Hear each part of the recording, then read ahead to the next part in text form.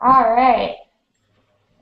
Hello, everybody. So last week we saw the interior walls get framed up with the metal studs. And this week we're going to see um, all the different things they put inside of those walls before they go ahead and finish them with drywall. So I'm going to go ahead and share my screen so you can see some pictures from this week.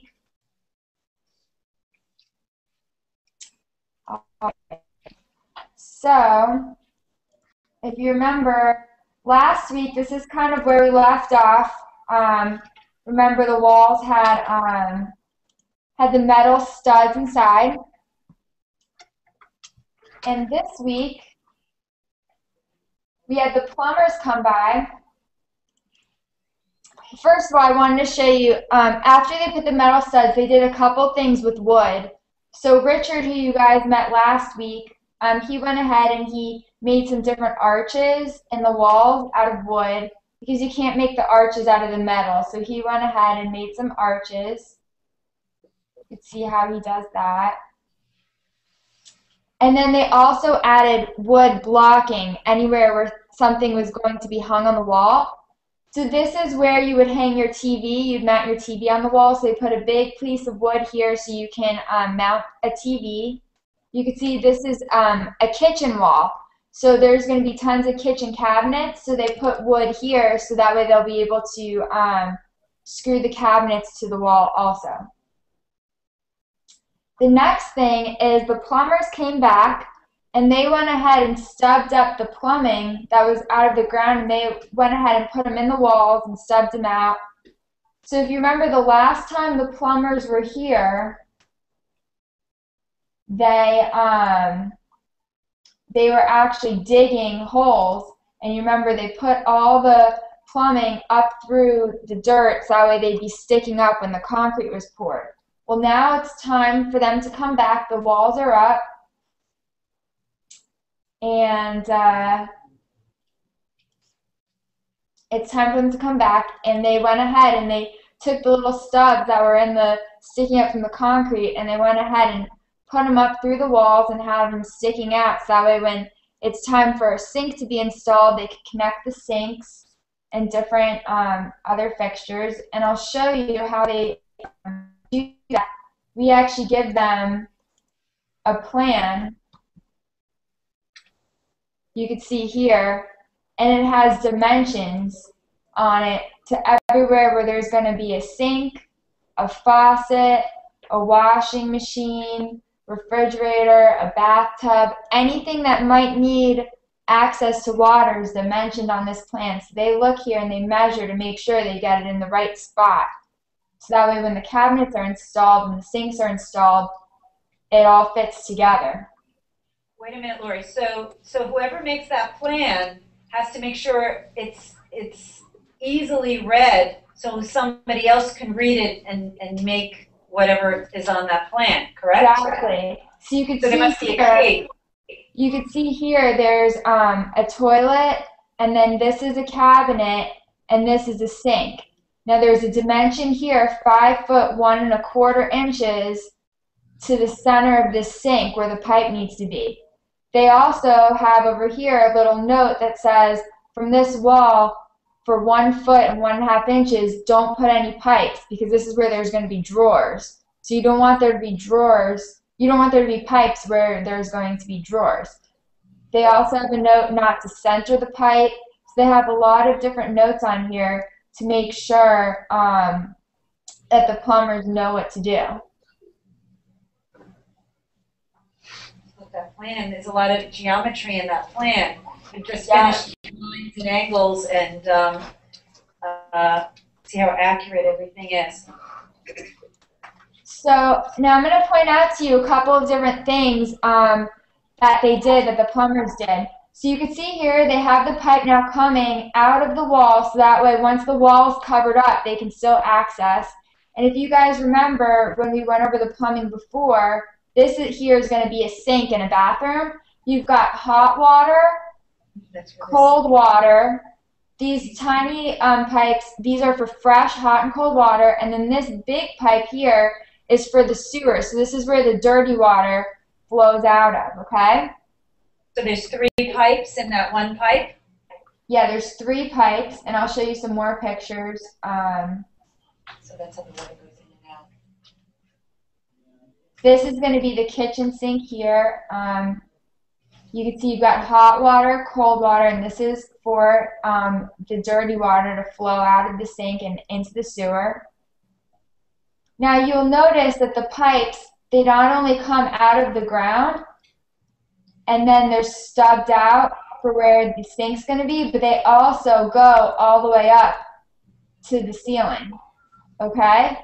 Now the reason why the pipes, they pipe them from the ground all the way through the ceiling, and then what happens next is um, they actually go through the roof, is because when you the, when you um, use a sink, the pipe is filled with air.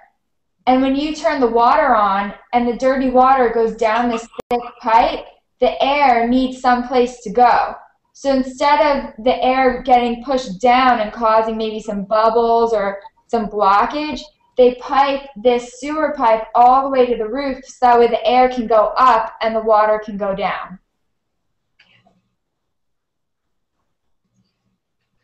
Here you can see they pipe it all the way. This is pipe is now in the ceiling right now, and this is for air to go when the water's on and going down the drain.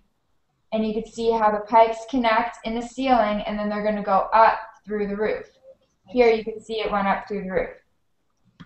And the plumbers, they have all these different pipes and different sizes and attachments to attach them together. They look at the plans and see what they need, and they work them out. Now you also see we've got these metal plates here that protect the pipe from when they put the drywall on later to make sure they don't you don't want any nails going through the and breaking these pipes. So they put these metal plates anywhere where in the future people might be nailing or screwing things into the walls to make sure that if you're nailing or screwing into the walls it doesn't hit the pipe. You know, Loree, that's that's interesting because they must have had a lot of people nailing into the pipe, so they had to come up with something like that. Yeah. So it's like problem and a solution. Exactly. Um, now here is um. Wait a minute, you had a curved pipe, and we have in the classroom um, these little reading machines that are made out of the same PVC pipe, and that's what Loree's showing. You see those? Yes, That's they, they curve it a little bit to make sure it fits. Now you see how it's kind of dripping with purple? This is actually the glue that is used to hold the two the pipes together. See, they're kind of like curved attachments. So in order to make sure that the pipes are sealed and they don't leak, they put this like purple glue, and that's what it looks like to seal it shut. It's hard for us to see the purple, but we'll, we'll, we'll take a view. Uh, here, I'll zoom in. Do you see it's like purple? Yeah. You see the PVC curve? Here, I'll, I'm gonna zoom in here. See purple? Ooh, yeah, it's like gum. Yeah. And this is the, um, it comes in like these little uh, jars here. Does Richard do that or somebody else? No, this is the plumbers. So the plumbers, they, they were here before the, the slab was poured and now they're coming back. Now, um, you can actually see one of the plumbers here. He's taking a lunch break, resting in the garage. Where? Oh, resting. He looks like he's sleeping. Yeah, it's a, it's a, a lunchtime siesta. Um, Lunchtime. there, he was on his lunch break when he came to take his pictures. Wait, he's in the back by the sun. It's just his legs laying down. So, Stretched. It's like, where's Waldo? okay, so this Okay. All right, so this picture here, this is actually going to be where the laundry machine, the washer and dryer is, okay? So I'm going to show you a couple things that they do for the washer and dryer, but one thing you'll notice is see how this pipe is curved, like right here? Can you see that? All right, they put Yes, this on all, all the, all the pipes, and they'll be put in later underneath the sinks and the cabinets. But what this is called is this is called a P-trap. And what this does is when the dirty water flows down this pipe, some of it gets stuck right here, right? Because it's all flowed by gravity. So once all the water, once you turn off the faucet, some water will be still left in this pipe. And that's, that's done on purpose. The reason why it's done is they want to block the air from coming up through the pipes because this is the sewer, so they don't want your home smelling bad like sewer water. So when the water gets trapped here, it actually blocks the smelly air from coming into your home. So they they designed this little loop um, called a P-trap, and this is on all the sinks and all the different plumbing sewer fixtures to make sure. So we've learned there's two different things that they do with the air in the sewer pipe. One, they have this P-trap here, which traps a little bit of water to block the smelly air from coming in your home. And then they also have the pipe going through the ceiling, through the roof, so that way the air does not get forced back down the pipe, but can actually get go up into the roof, so it doesn't block the flow of water. So they really have to think about what to do with the air and the pipes, how the air and the water interact. Here's another view of the P-trap. And um, you can see here's like the another nail plate because they anticipate that the drywall will be screwed over in these areas. So they want to make sure it doesn't penetrate the pipes. And um, like I said, this is for the washer and dryer. So they have little valves here for that are going to be hooked into your washing and drying machine once they're installed. And um, what this is, is this is actually a pressurizer that they put on afterwards, and this is what it looks like up close. And they put this on these pipes, and they put it somewhere throughout the house. And what this does is they actually, before they're finished, they fill the pipes up with water, and they check to see where this gauge is to make sure the water is pressurized. Because if there's a leak in the pipes, they want to find out now before they go ahead and put all the drywall in. So if there's a leak, the water will slowly drip out and this dial here will move and you'll be able to tell whether there's a leak in the pipes. So they pressurize the pipes, they fill them up with water, and they look at this to make sure that there's no leaks before they leave, um, before the drywall's installed. So they can fix anything now before other people come in and do their work. Now, what this is here is this is something that's put on the fresh water that's coming in to the washing machine. Now, the washing machine, as you guys know, is very powerful. It puts a, a lot of water in and it mixes up all the clothes and sometimes it shakes a little bit. So what they have here are little springs that the water flows through these springs. That way, as the the powerful washing machine moves, these springs relieve, alleviate some of the pressure so that way the pipes don't burst. So, the, you know, when you turn the washing machine on, all that water comes and it shakes. So those two little things stabilize it so that the pipe doesn't burst. Yeah, exactly. Now this is another special thing they put in. This is for where the refrigerator. So now we're in the kitchen and they put um, this is like a little box that has like all the things needed to hook up your refrigerator. So they go ahead and install that where the refrigerator is going to be. And um, here you can see this is just going to be another sink. So you've got the fresh water, the fresh hot and cold water, and then this is the sewer. Now this is the bathtub. This is in the master bedroom master bathroom, and this bathtub actually has jacuzzi jets in it. They didn't put the tub. Is the tub there, or it just has a wood over it? Or is that where they're going to put it? No, the tub is actually installed, and they put a wood over to protect the tub from being damaged. Oh. So this is the the tub, and you can see there's all these different um, all these different pipes coming out of it because this tub has lot has jets in it. So there's gonna be water flowing in and out from all over and there's a motor. Up to your house. Wouldn't that be fun? Yeah. That'd be fun. Okay. I, am sorry. We just got. I just. I just. I'm off track. Okay. Shh. Oh, I love that. Um, but yes, this is the hot tub in the master bed bathroom, and there's a motor here that turns on the jets. So they go ahead and they install that. This is um, a shower.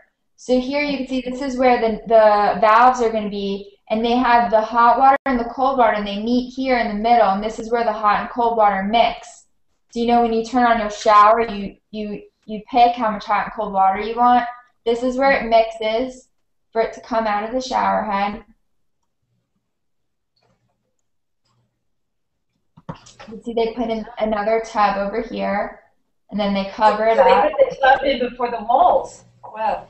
Yeah, they put the tub in first, um, and then they cover it up to protect it, so that way other people that come in the house don't get it like nicked and scratched. See the back of the tub, and that's it for the plumbing. And I'll show you. So in the walls, you can see before they drywall, they put plumbing, but another thing that they also put in the walls is the air conditioning. Okay? So I'll show you a couple pictures of what they did for the air conditioning this week too. So this here is going to be a closet. And they're going to put in this closet the air handler. Now what the air handler is, it's a big metal box with like a fan in it, and it's what blows the air throughout your home. So it makes the air in your house cold or hot, depending whether you have the air conditioning on or the heater on. So they build this stand here because this is where it's going to go. It's not here yet. And you can see it's raised because it actually needs to suck air from underneath the fan so it can blow it out. And then I'll show you some more pictures. It connects to um, all these different returns throughout the home.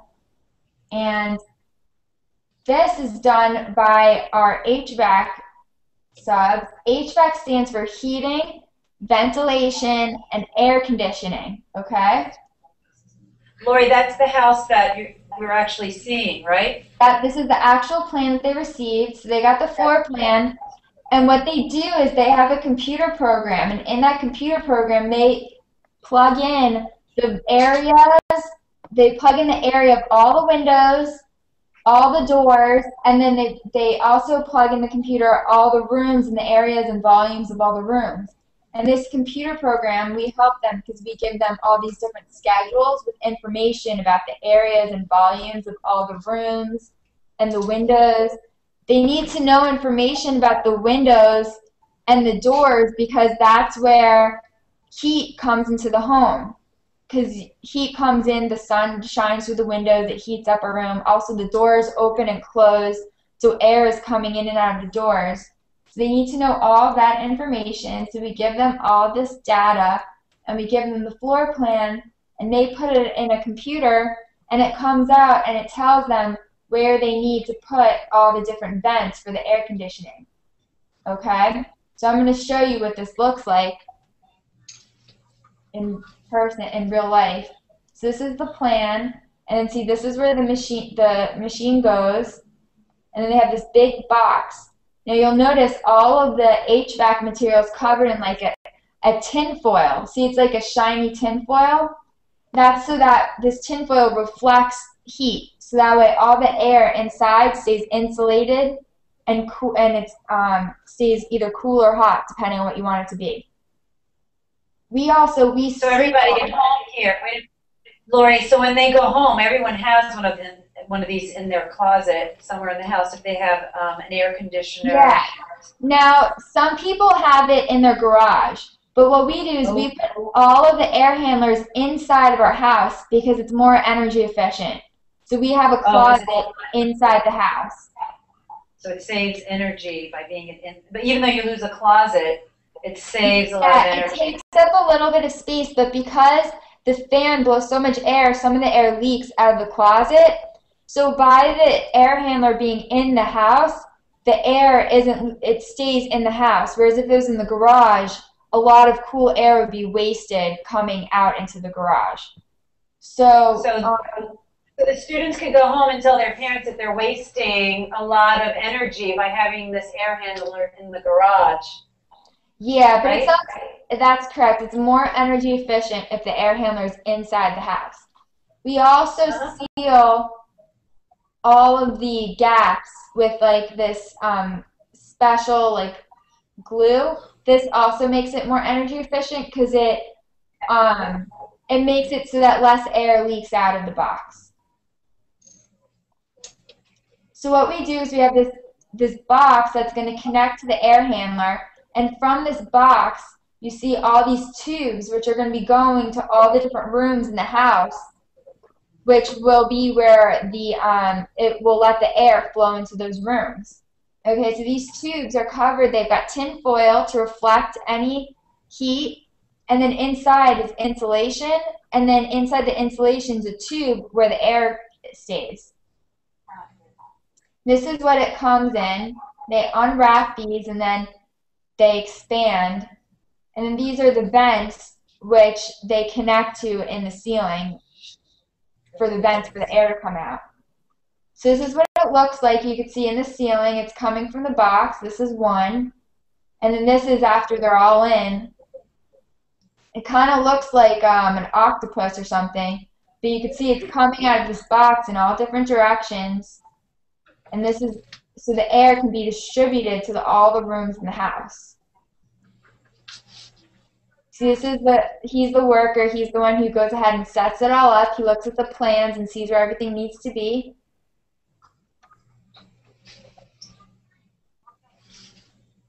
So you see, this is the vent, how the air comes out into the room. Now, all of your homes have a thermostat. That thermostat detects the temperature of your home. So when that thermostat tells it, well, it talks through a wire to that air handler and says the house is too hot. It's time to turn on and cool up the cool up the house. Or in the wintertime, it'll tell it to heat up the house. So that thermostat is what um, is how the air handler knows how much air to put into the house all the time. And um, another thing is there's certain vents that the HVAC people put in. So this is in the kitchen. This is a vent for the, the microwave. Um, so if you're cooking, sometimes you'll put a vent on to get some of the smells um, or moisture off the stove. So they have a vent that goes to the roof here that they put in. And then another thing is, this is the last thing, is we also have, so all the air in your home is constantly being recycled, right? It gets blown into the rooms, then it comes back up through this box. We, and one of the things that we do in our homes to make it a little bit more clean is we have a pipe here that goes directly to the outside. So this pipe will constantly bring in fresh air into the home. That way new clean air is being circulated along with the other air that's um, circulating the home. So the HVAC guy, he's not done yet. He still has some more work to do, but that's what he did this week. So we had the plumbers come in. They put the pipes through the walls um, to get ready for all the sinks and showers and faucets. And then the um, HVAC people came and they put in um, the starting framework for your air conditioning system. And um, actually, right now, the electricians are there. They're putting in wires in the walls, but I'll show you guys that next week. Wow, we have some questions here, Loree. Okay, so we're gonna go table by table. Ryan? Hi, I'm Ryan. Do you have to put the pipes in a certain place? Yes, very important. The plumbing pipes have to be in a certain place because when you put in the sink or a faucet or a shower head, it has to be able to connect directly to those pipes. And if they're not in the right place, sometimes the cabinets won't fit or the shower, you know, it won't fit right. So you got to make sure everything's in the right spot. So it's really important that people follow that plan. That's why you have to plan Mhm. to know where these are going, so that. And the plans are dimensioned. They're dimensioned up to one eighth of an inch. So they're very, very precise. One eighth of an inch is very, very tiny. So they're dimensioned um, all the way up to an eighth of an inch to make sure that they get it just right. Say your name. Um, I'm Lauren. Um, do you put a water heater in the house later? Water heater. Well, um, The hot water, yes, there is a water heater, and I'll show you that. Our homes actually have a tankless water heater. So it's this little box that goes on the outside of the home, and it has hot coils that the water runs over um, to heat the water in the house. So yes, we do have a water heater that goes in um, towards the end of the house being built. Okay. How many people work on the house at one time? Um, that's a great question. It depends. So you guys saw last week, Richard, he did the metal, the metal framing, and he worked by himself. This week we had the plumbers and the HVAC people in. The plumbers, there might have been like two or three plumbers working, and then um, you saw I think there was just like one or two people working on the HVAC. So, um, you know, depending on how many people they have at the house, depending how busy they are, you know, it could be um, for this stage of construction, like maybe five people in the house at a time. But sometimes there's more. It just depends how fast they want to get it done. So, like the tubes in the ceiling, like bend. What was that? I'm trying to think. of- Did the tubes in the ceiling like bend?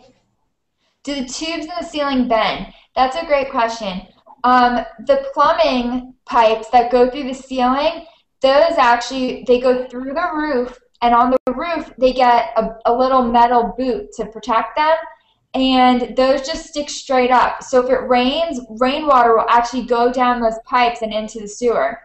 Now, the vents for the HVAC, like the vent in the kitchen for your microwave, those you don't want water to get into them. So those go through the roof. They get a little metal cap, and the metal cap is bent, so that way water can't get inside of it. Hi, I'm Eloisa. Where do they get all the energy to do all these things? I mean, like the the stuff. Like energy. How they're powered? Like, where do they get the energy? Oh. So where the I'm not sure I understand. Where do they get the energy for like the air conditioning to run, or the energy to work all day? And um, I think she wants the energy to run. Where is where are you getting the energy to run the air conditioner or to run Okay. right the water? The water, actually, the water is all run by pressure. So the water is held, you know, the, the water actually, when you turn the, knot, the, the faucet, the water comes out and it's constantly pressurized so that way you have a nice flow of water.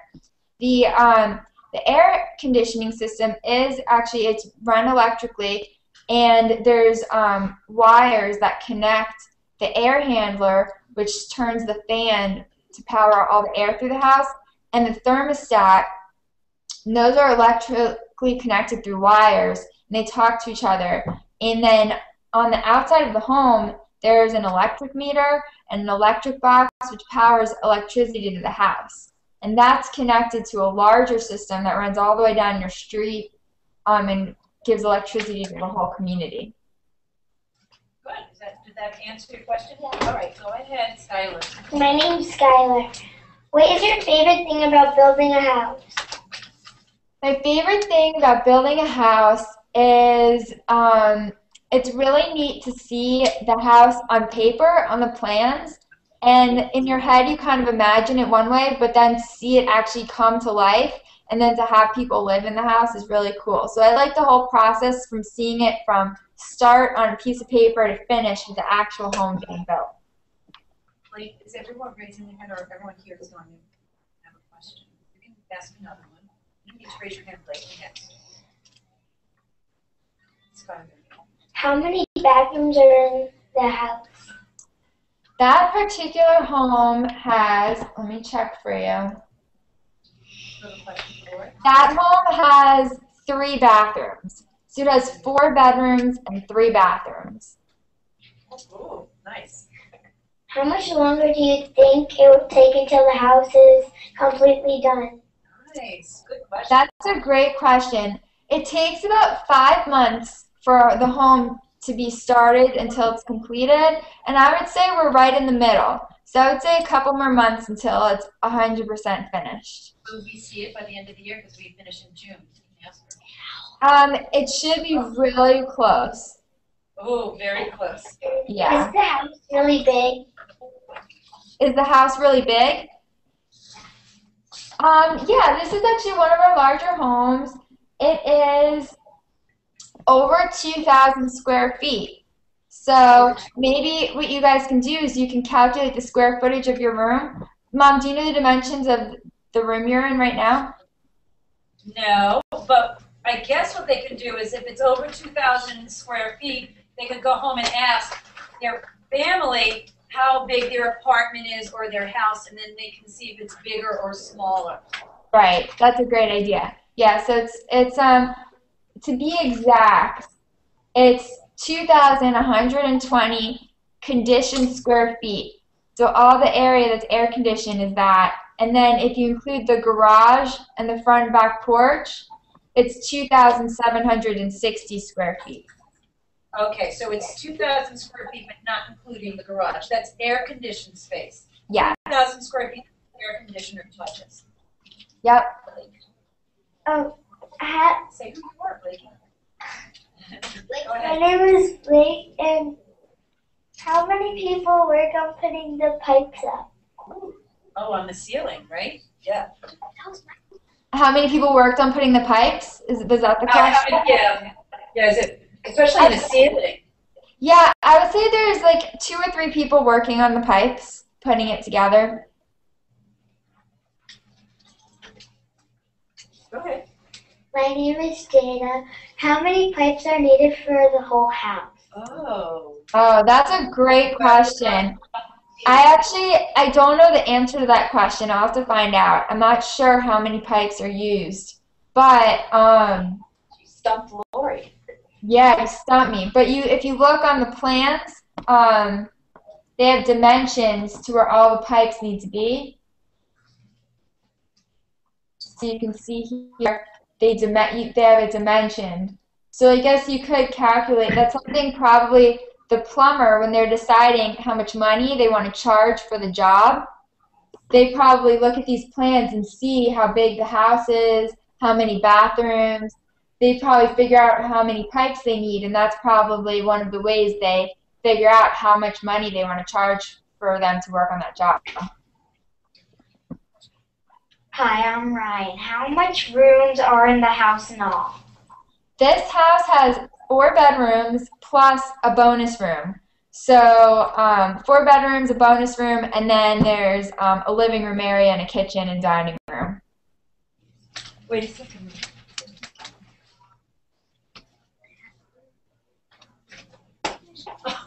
Oh, God. Okay, Loree, so next week is going to be, what's our lesson next week? Well, next week you're definitely going to see all the electrical wires that go throughout the house. You can see how they um, connect to all the different switches and light fixtures and everything that you use, um, all the outlets. They put all that in the walls, all the wires for that. So take a look at that, and then um, maybe some other stuff we'll see, but definitely the electrical wires in the walls.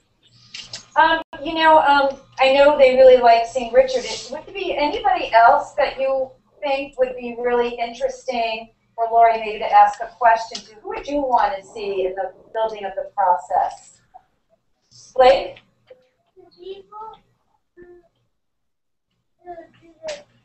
The pi, the plumbers? You'd like to in- get Loree to maybe ask a plumber or take a picture or something? Yes. Uh, Skylar? Oh, Loree's boyfriend. Loree's boyfriend has an exact title. What is his position in this whole um, process? He's the president. He's the. You want to see the, the president? okay. I, didn't- those of you were here last year. Kind of see. No, it's not Barack. Okay. Um, Catherine. Oh, the, it's not the pipe maker. The, the, the plumber. The plumber in, interests you. Yes. Would you like to see the people who bought the house? Yes! Oh, okay. I'm sure Loree will be able to arrange that. Oh. Okay. Any other questions? Wait a minute. Ms. Schulson, Yes? I have a caster children for early dismissal. Okay. Thank you. Okay, um, so Loree, we're going to, um, do one more question? Okay, we're gonna go ahead and, uh, say goodbye, and we'll see you next week. Bye, guys. Have a great weekend.